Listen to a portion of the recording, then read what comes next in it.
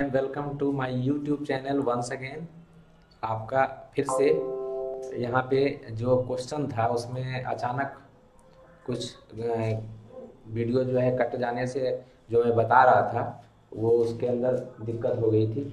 तो second number video जो है उसमें लास्ट में मैं जो बो, बोल रहा था उसमें से, सेमीकंडक्टर वाला जो था उसके अंदर मैं बोल रहा था कि जब सिलिकॉन का क्रिस्टल है उस सिलिकॉन के क्रिस्टल को जब हम डोप करते हैं, कहने का मतलब उसको अब द्रव्य मिला करके अशुद्ध बनाते हैं तो जो सिलिकॉन का क्रिस्टल है, जो सही मायने में शुद्ध क्रिस्टल होता है और उसको, उस शुद्ध क्रिस्टल को निज अथवा आंतरिक अर्धचालक बोलते हैं, उसके अंदर जब डोपिंग करते हैं तो वह बाह्य अर्धचालक बन जाता है और डोपिंग दो तरीके से की जाती है। एक पंच सहयोजक पाँच संयोजकता वाले पदार्थ द्वारा, या कह सकते हैं परमाणु द्वारा, या तीन संयोजकता वाले परमाणु द्वारा।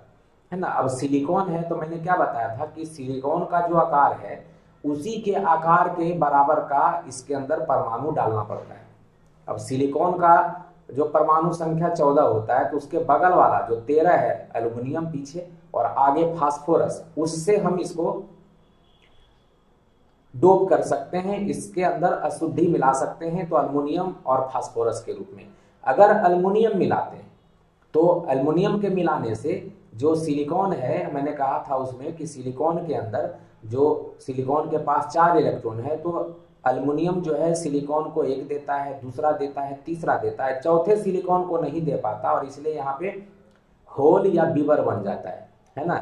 और उसका जो नेचर होता है होल का नेचर हमने कहा था कि होल के अंदर इलेक्ट्रॉन बगल से जाके भरता है तो जहाँ से भरता है जाकर के, जैसे मान लीजिए इलेक्ट्रॉन यहाँ से यहाँ आता है तो ये यहाँ पे जो इलेक्ट्रॉन है यहाँ से जब आएगा तो इलेक्ट्रॉन भर जाएगा तो यहाँ पे खाली हो जाएगा तो इलेक्ट्रॉन इलेक्ट्रॉन के यहाँ से यहाँ आने पे यहाँ पे होल बन जाएगा।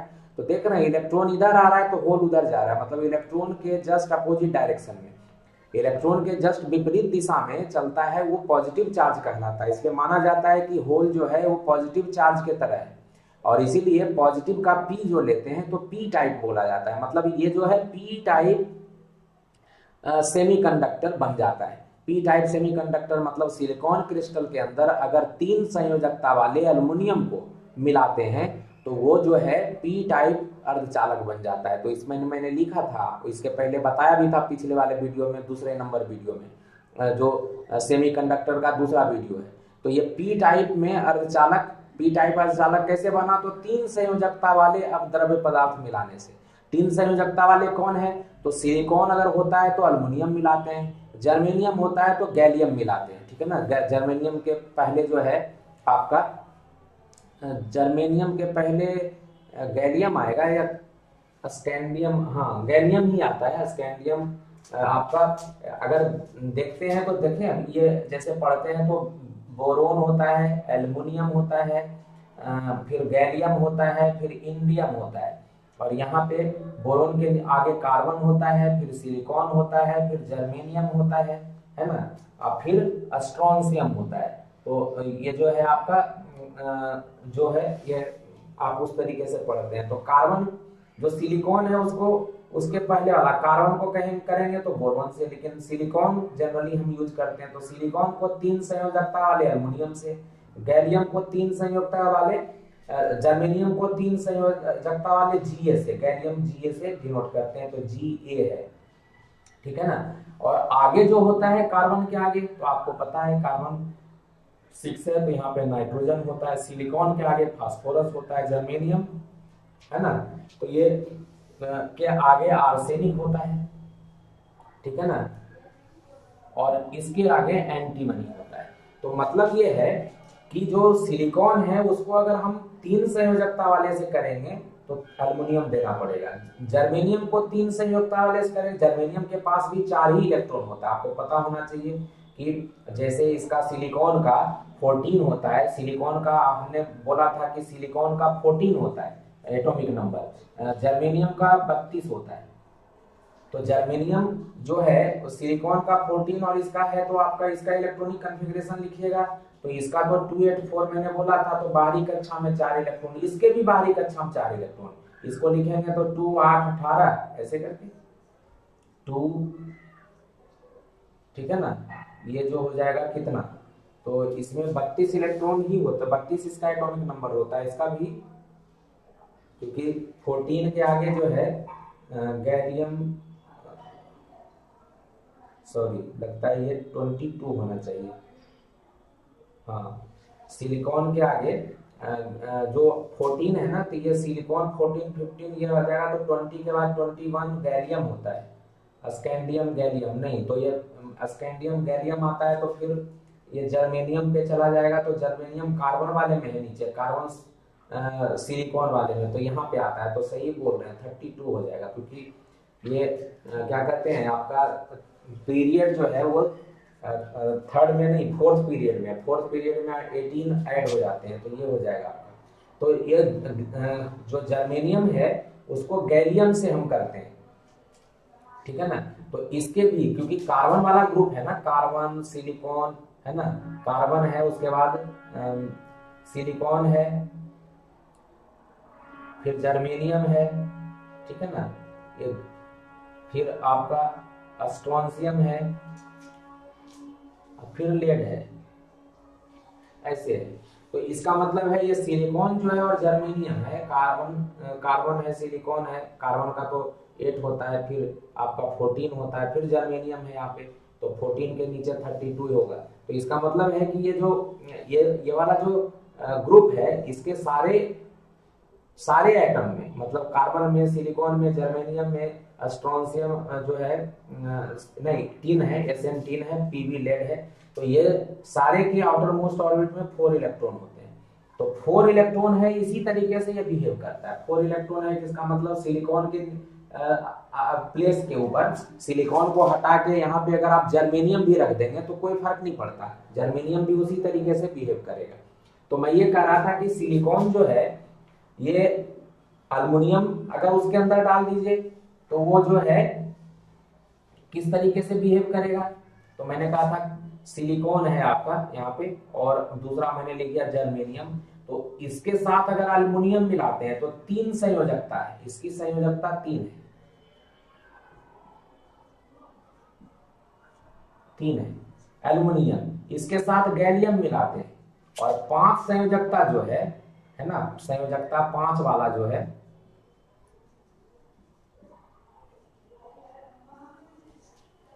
ठीक है ना? सिलिकॉन के अल्युमिनियम के आगे सिलिकॉन सिलिकॉन के आगे फास्फोरस है। और यहाँ पे गैलियम है सॉरी जर्मेनियम है। जर्मेनियम के आगे कौन सा है? तो आ, क्या कहते हैं? आर्सेनिक है ए एस है आर्सेनिक इसको बोलते हैं। तो अगर आप सिलिकॉन को तीन संयोजकता वाले से करेंगे तो ये होल बनेगा और इसलिए पी टाइप बनेगा। जर्मेनियम को तीन संयोजकता वाले से करेंगे तो गैलियम करना पड़ेगा। तो यहाँ पे क्वेश्चन नंबर वन जो दिया है, वही दिया है। पी टाइप का अर्धचालक बनाने के लिए जर्मेनियम को किस तत्व द्वारा डोप किया जाता है? देख रहे हैं अब आपको क्वेश्चन में दिख रहा है कि जर्मेनियम को अगर हमको अर्धचालक बनाना है पी टाइप का तो पी टाइप के लिए क्या करना पड़ेगा? चार जो वैलेंसी होती है उससे कम वाला। मतलब पी टाइप में हमको होल क्रिएट करना है यहाँ पे। तो इसका मतलब है होल क्रिएट करने के लिए जो बीवर है उसके अंदर वो लाने के लिए क्या करना पड़ेगा? तो उसके अंदर तीन संयोजकता वाले जो आ, क्या कहते हैं तत्व हैं एलिमेंट है उसको मिलाना पड़ेगा। और तीन संयोजकता संयोजकता वाला जो तत्व है वो आपका जो सिलिकॉन के पास है, वो अल्मोनियम है। जर्मेनियम का पूछ रहा है तो जर्मेनियम के आकार का लेना पड़ेगा। और जर्मेनियम के आकार का जो है, वो गैलियम है। तो इसका मतलब है, इसका जवाब गैलियम होना चाहिए। ठीक ना? तो ये ध्यान रखना है कि इसी तरीके से आपका दूसरा भी आएगा जो एम टाइप है है ना? तो पी टाइप का जो है, उसमें हम इस तरीके की बात करेंगे तो गैलियम इसका जवाब हो जाएगा। ठीक है? तो पहला नंबर जो है पी टाइप का अर्धचालक बनाने के लिए जर्मेनियम को किस तत्व द्वारा डोप किया जाता है? पी टाइप मतलब पॉजिटिव होना चाहिए। पॉजिटिव होने का मतलब होल होना चाहिए बीवर होना चाहिए होल होना चाहिए। और होल होने के लिए यहाँ पे जो डालेंगे, उसमें चार के जगह पे तीन इलेक्ट्रॉन वाला होना चाहिए, तीन संयोजकता वाला। तो अगर सिलिकॉन होता तो अल्मोनियम होता, क्योंकि सिलिकॉन के आकार का अल्मोनियम है। अब यहाँ पे सिलिकॉन के जगह पे कह रहा है जर्मेनियम है जर्मेनियम के पास भी चार ही इलेक्ट्रॉन होते हैं और दूसरा जर्मेनियम मतलब ये जर्मेनियम यहाँ भी जर्मेनियम यहाँ जर्मेनियम यहाँ जर्मेनियम होगा और चारा, सारा जो है जर्मेनियम को एक एक इलेक्ट्रॉन देगा। लेकिन जैसे ही जर्मेनियम के साथ आप एल्युमिनियम के जगह पे गैलियम लाएँगे तो गैलियम के पास तीन ही इलेक्ट्रॉन होता है। तो एक जर्मेनियम को यहाँ देगा, एक जर्मेनियम को यहाँ देगा, एक जर्मेनियम को यहाँ देगा, यहाँ खाली रह जाएगा। तो खाली रहने के कारण जर्मेनियम जो है भी पी टाइप जो आपका अर्धचालक बनाएगा। मतलब पहला जो है पी टाइप अर्धचालक बनाने के लिए जर्मेनियम में किस तत्व को का डोप किया जाता है? तो पी टाइप को बनाने के लिए जर्मेनियम में गैलियम का डोप किया जाता है। गैलियम इसको पढ़ते हैं। और अगर पूछता पी टाइप अर्धचालक बनाने के लिए सिलिकॉन में किसका डोप करते हैं? तो एल्यूमिनियम का डोपिंग करते हैं। ठीक है ना? तो सिलिकॉन के अंदर अल्यूमिनियम बनाया जा, मिलाया जाता है। और जर्मेनियम के अंदर गैलियम मिलाया जाता है। ठीक है? तो ये है पी टाइप अभी एक चीज़ और इसमें देखना है कि हमने आपको बताया था पिछले वीडियो में कि देख रहे हैं, यहाँ पे इलेक्ट्रॉन जो है, एक एल्यूमिनियम आपने डाला तो उसकी वजह से एक यहाँ पे होल बन गया।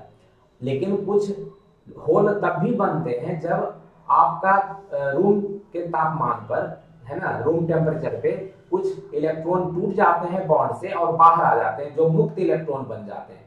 है ना? तो ये इलेक्ट्रॉन यहाँ से टूट करके बाहर आ गया तो यहाँ पे होल बन जाता है है ना? फिर इसको भरने के लिए यहाँ से इलेक्ट्रॉन दौड़ता है या कहीं से भी दौड़ता है? तो ये इलेक्ट्रॉन मान लीजिए अगर यहाँ से दौड़ेगा तो यहाँ से यहाँ पे इलेक्ट्रॉन आ जाएगा दौड़ करके। तो यहाँ पे इलेक्ट्रॉन जब इसको भरेगा तो यहाँ पे खाली हो जाएगा। मतलब क्या है? इलेक्ट्रॉन जिस डायरेक्शन में जा रहा है, यहाँ से इलेक्ट्रॉन आ रहा है, उसके विपरीत दिशा में होल जा रहा है। तो होल जा रहा है इधर और इलेक्ट्रॉन आ रहा है इधर। तो इसीलिए मैंने कहा था इलेक्ट्रॉन का विपरीत दिशा में पॉजिटिव चार्ज होता है इलेक्ट्रॉन नेगेटिव चार्ज होता है। इसलिए जो होल है वो पॉजिटिव की तरह बिहेव करता है। इलेक्ट्रॉन तो नेगेटिव होता ही है। तो इसमें क्या दिख रहा है आपको पी टाइप अर्धचालक में? कि यहाँ पे जो होल का नंबर है, दिख रहा है इलेक्ट्रॉन एक निकला लेकिन होल दो है। इसका मतलब इसमें होल की संख्या ज़्यादा होती है इलेक्ट्रॉन की संख्या कम होती है। होल आपने जो डोपिंग किया, उससे भी बन रहा है। और टूटने से भी बन रहा है। लेकिन इलेक्ट्रॉन केवल टूटने से बन रहा है, इसलिए यहाँ पे बोला जाता है कि जो होल की संख्या है नंबर ऑफ़ होल्स जिसको मैं बोल सकता हूँ एन एच ये जो है बड़ा होता है एन ई e से। ठीक है ना? लेकिन करंट किससे होगा भाई? तो दोनों से होगा। तो करंट में तो आप आई एच प्लस आई ई दोनों लेंगे करंट तो दोनों की वजह से ही होगा। होल से की वजह से भी करंट होगा और इलेक्ट्रॉन की वजह से भी करंट होगा। तो इसमें जो कुल विद्युत धारा है, वो तो दोनों की वजह से होगा ना? कि इसमें होल भी है, लेकिन होल का संख्या ज़्यादा है। इलेक्ट्रॉन का संख्या कम है, लेकिन इलेक्ट्रॉन के प्रवाहित होने से भी विद्युत धारा होगी और होल के प्रवाहित होने से भी विद्युत धारा होगी। तो टोटल विद्युत धारा तो फिर से वही होगी जो है, होल के चलते करंट जो है आई और जो इलेक्ट्रॉन के चलते जो विद्युत धारा होगी, दोनों को जोड़ देंगे तो आ जाएगा। अब जो हमारा अगला क्वेश्चन है, उसमें कह रहा है पी प्रकार के अर्धचालक में आवेश वाहक कौन से होते हैं? पी प्रकार का जो अर्धचालक है, उसमें आवेश वाहक कौन सा होगा? तो यहाँ पे तो साफ़ साफ़ दिख रहा है। तो इसमें क्या देता है? इसमें दिया है आपका कि पी प्रकार के अर्धचालक में आवेश वाहक कौन होते हैं? एक्चुअली में मुख्य आवेश वाहक होना चाहिए ठीक है ना? मुख्य आवेश वाहक कौन होते हैं? तो ये मुख्य होना चाहिए, ठीक है ना? ये जो लिखा हुआ है कि पी प्रकार के अर्धचालक में आवेश वाहक के जगह पे यहाँ मुख्य आवेश वाहक, जैसे इस क्वेश्चन में है उसी तरीके से। पी प्रकार के अर्धचालक में मुख्य आवेश वाहक कौन से होते हैं? तो पी प्रकार का अर्धचालक है, दिख ही गया कि इसमें होल का संख्या बढ़ जाता है, क्योंकि जैसे ही आप इसके अंदर अपद्रव्य तत्व तो मिलाते हैं तो उसकी वजह से उसके अंदर होल उत्पन्न हो जाता है ना? ये बीबर जो है, वो उत्पन्न हो जाता है और उसकी वजह से इसकी संख्या ज़्यादा हो जाती है क्योंकि कुछ जो होल्स होते हैं, इलेक्ट्रॉन के टूटने से बनते हैं जब इसके ऊपर ताप दिया जाता है। तो टेम्परेचर बढ़ाया जाता है तो इलेक्ट्रॉन टूट करके बाहर आता है होल बन जाता है और ये ये जो इलेक्ट्रॉन ये होल जो बनता है अल्मोनियम की वजह से बनता है। तो होल ज़्यादा होने के कारण जो पी प्रकार का अर्धचालक होता है उसमें मुख्य आवेश वाहक कौन होते हैं? तो बीवर कोटर या जिसको आप होल कहते हैं तो होल होता है। तो इसका क्वेश्चन का जवाब जो है है ना ये वाला क्वेश्चन पी प्रकार के अर्धचालक में आ, मुख्य आवेश वाहक यहाँ पे ये मुख्य आवेश वाहक होना चाहिए ठीक है ना? तो ये वाला मुख्य जो है यहाँ भी होगा। मुख्य आवेश वाहक कौन से होते हैं? तो इसका जवाब है पी प्रकार के इसके अंदर होल्स होते हैं, ठीक है ना? तो होल कह लीजिए या इसको बीवर कहते हैं या कहीं कहीं कोटर भी लिखा रहता है तो इसको कोटर भी बोल सकते हैं, ठीक है? तो ये ध्यान रखना है कि बीवर है आपका। फिर कह रहा है, इसी पी का अगर बोला जाए तो हमने बहुत सारा चीज़ बताया, एन प्रकार के अर्धचालक में मुख्य आवेश वाहक कौन होते हैं? तो एन जो है निगेटिव से बनता है निगेटिव इलेक्ट्रॉन होता है तो उससे बनता है। अब इसके बारे में बात करेंगे अभी। लेकिन उसके पहले कुछ क्वेश्चन और करते हैं। जैसे ये वाला क्वेश्चन है, अर्धचालकों में अब द्रव्य मिलाने पर क्या होता है? तो ये दिखा आपको। आपने अब द्रव्य मिलाया तो होल बन गया। होल बनने के कारण इसके अंदर पहले पहले जो था, जब शुद्ध अवस्था में था तो मैंने क्या बताया था? जितना इलेक्ट्रॉन टूट के बाहर आता है, उतना ही होल बनता है। तो एक इलेक्ट्रॉन एक होल। अब है एक इलेक्ट्रॉन दो होल। मतलब जैसे, एक तो डोपिंग से हो गया और एक टूटने से भी हो गया। इस तरह से अगर हमने कहा था चुटकी भर डाल दीजिएगा, इसके अंदर अल्मोनियम तो दुनिया भर का होल आ जाएगा। मतलब इसके अंदर होल की वजह से इसकी चालकता बहुत बढ़ जाएगी। तो चालकता बढ़ जाती है तो इसलिए दिखता है जो यहाँ पे अर्धचालकों में अब द्रव्य मिलाने पर क्या होती है? क्या होता है? तो बोलेंगे अर्धचालक की चालकता बढ़ जाती है। क्या बोलेंगे? अर्धचालक की चालकता बढ़ जाती है। तो लिखना है इसका आंसर। आपका जो क्वेश्चन नंबर एट है, उसको लिखेंगे अर्धचालकों में अब द्रव्य मिलाने पर उसकी चालकता बढ़ जाती है, ठीक है ना? फिर कहता है अर्धचालक में विद्युत चालकता किसके कारण होती है? ठीक है ना? अर्धचालक में विद्युत चालकता किसके कारण होती है? तो अर्धचालक में विद्युत चालकता किसके कारण होती है? इलेक्ट्रॉन के कारण होती है या होल्स के कारण होती है? तो दो तरीके से होता है अर्धचालक में जो विद्युत चालकता होती है, वो इलेक्ट्रॉन के आ, क्या कहते हैं प्रवाह के कारण भी होता है इलेक्ट्रॉन के आ, से के प्रवाहित होने के कारण भी होता है और होल्स जो बीवर है उसके भी प्रवाहित होने के कारण होता है।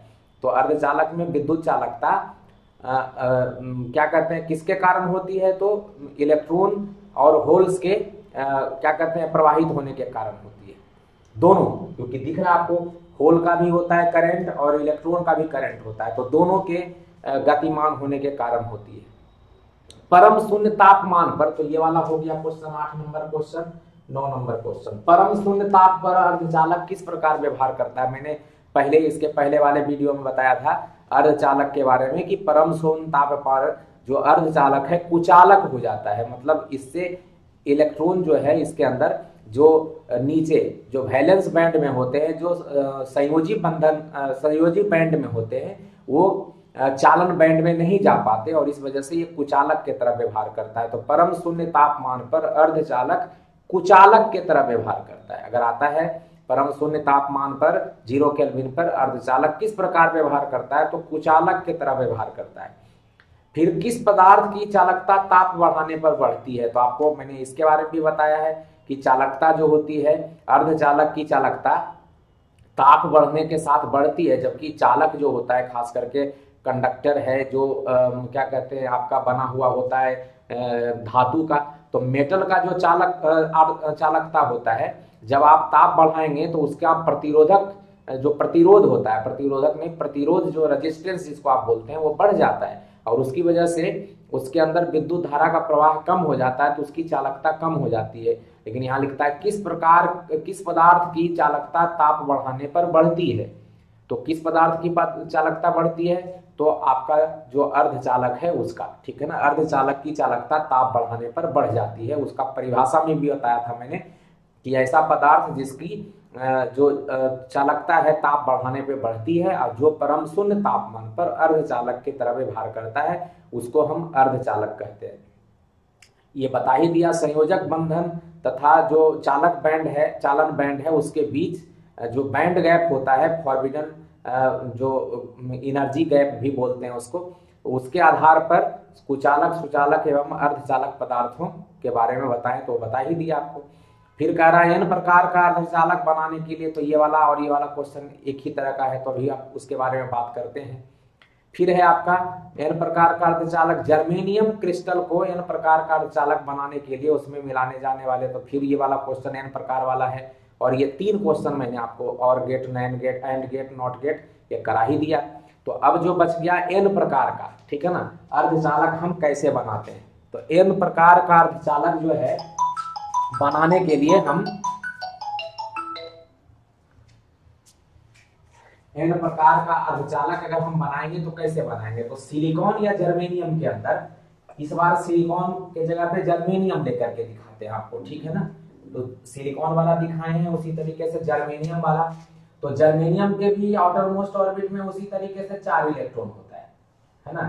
तो जर्मेनियम इधर से, ये हो गया जर्मेनियम ठीक है ना?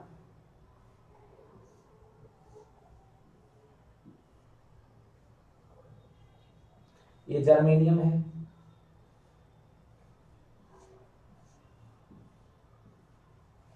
सारा हर एक डायरेक्शन में जर्मेनियम के साथ ये अटैच रहेगा।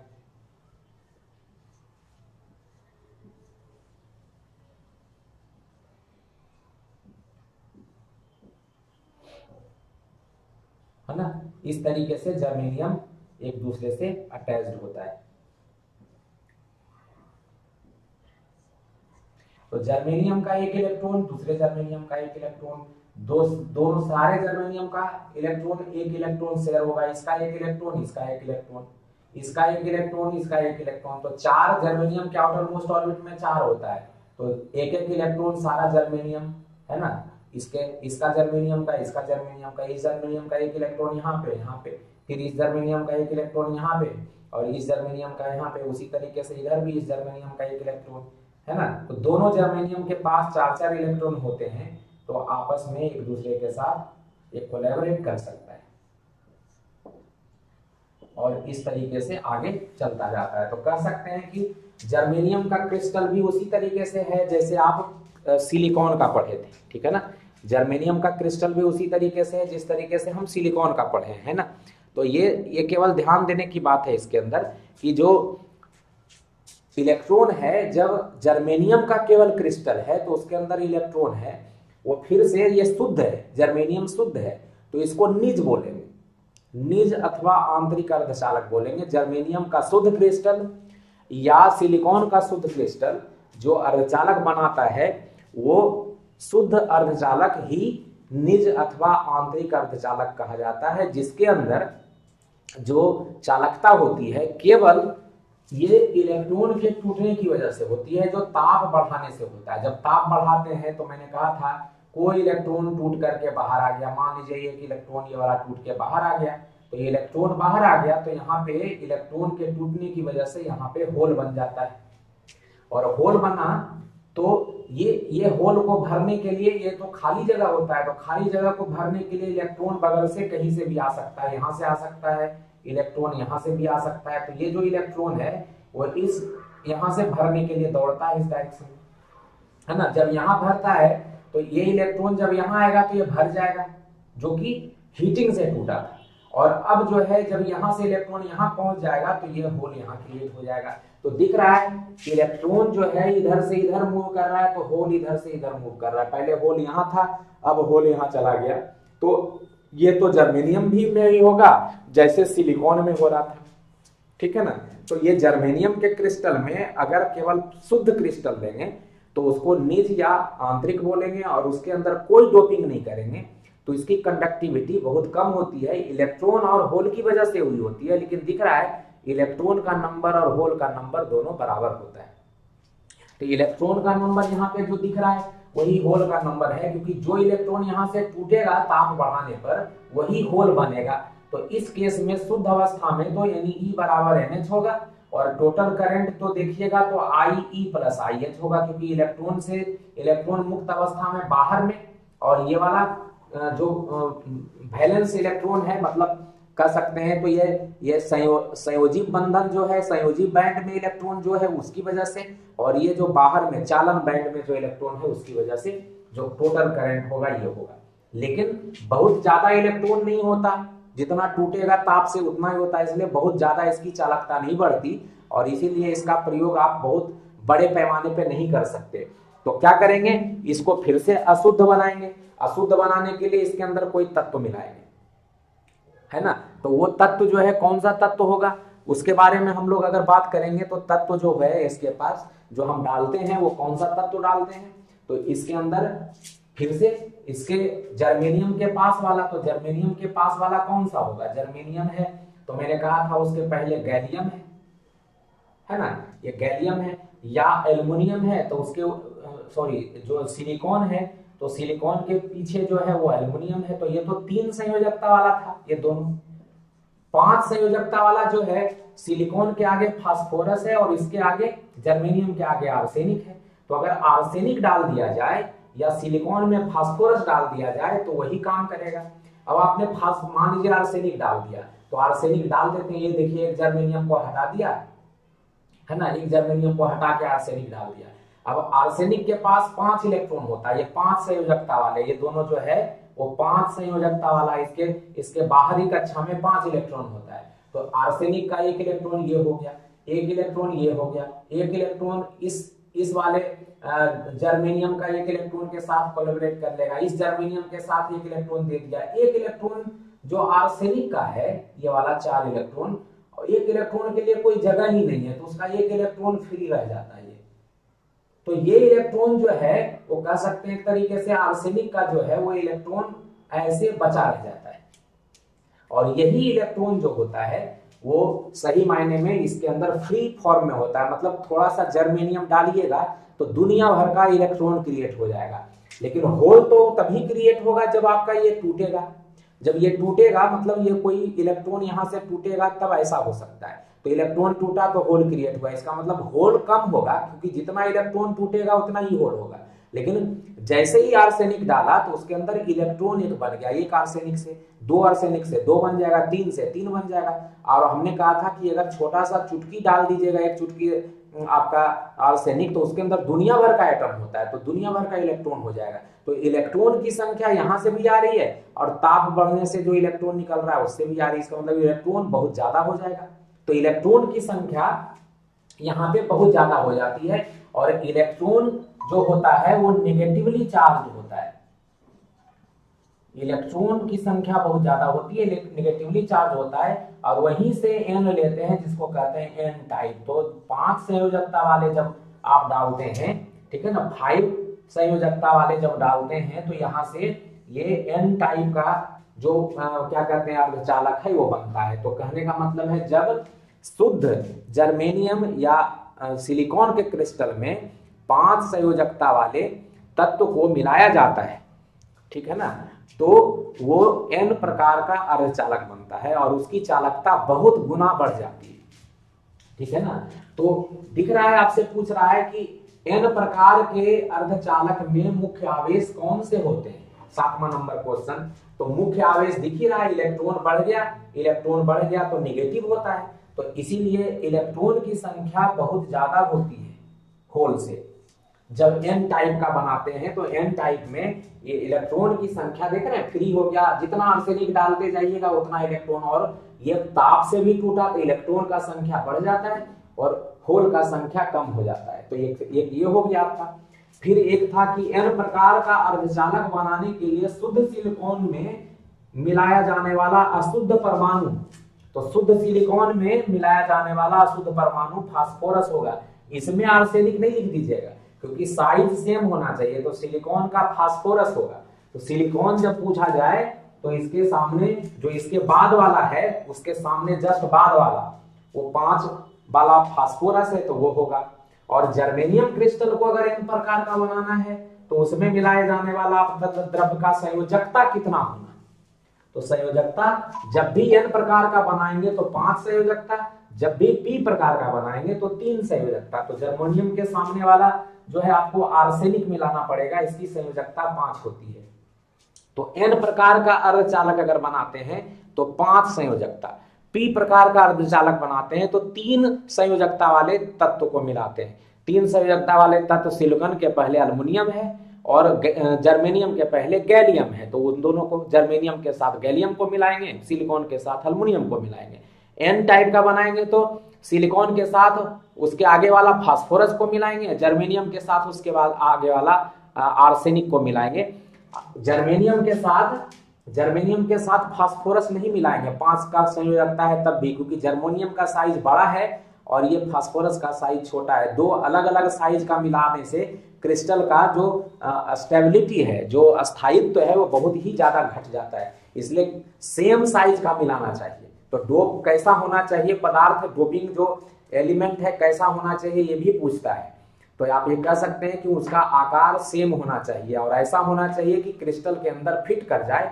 और वो इसके जो स्थायित्व है, उसको किसी भी तरीके से खराब ना करे। ठीक है ना? तो जो क्रिस्टल है, उसमें अस्थायित्व बना रहे। तो ये हमारा जो है सारा का सारा ये 17 क्वेश्चन जो है, अब जाके कंप्लीट होता है, जिसमें मैंने आपको क्वेश्चन के साथ साथ थ्योरी भी बताया है और बहुत बृहद रूप से बताया है जिससे कि आगे और क्वेश्चन दे तो वो समझ आ जाए। ठीक है ना? तो ये ध्यान रखिएगा कि निगेटिव कैसे बनता है एन टाइप कैसे बनता है पी टाइप कैसे बनता है। जो अर्धचालक है, ठीक है ना? जिसको हम कह सकते हैं कि ये जो है जो पी टाइप अर्धचालक है या उसको बाह्य अर्धचालक बोलते हैं तो बाह्य अर्धचालक में दोनों आते हैं एन टाइप का भी पी टाइप का भी। और निज में तो एकदम शुद्ध वाला है सिलिकॉन का, और जर्मेनियम का जो क्रिस्टल होता है शुद्ध फॉर्म में उसी को बोलते हैं। बाह्य में एन टाइप मतलब सिलिकॉन जर्मेनियम क्रिस्टल के अंदर कुछ मिलाते हैं, या तो आर्सेनिक मिलाएँगे या गैलियम मिलाएँगे। सिलिकॉन का रहता तो या तो अल्मोनियम मिलाते, या तो फास्फोरस मिलाते, ठीक है ना? तो इसके बाद फिर से कुछ क्वेश्चन लेकर के मिलेंगे, उसको साथ ही डिस्कस करेंगे, ठीक है? जिससे कि आपको समझ में आता रहे साथ साथ बताते रहे हम, ठीक है? तो मिलते हैं नेक्स्ट वीडियो में फिर आप लोगों से।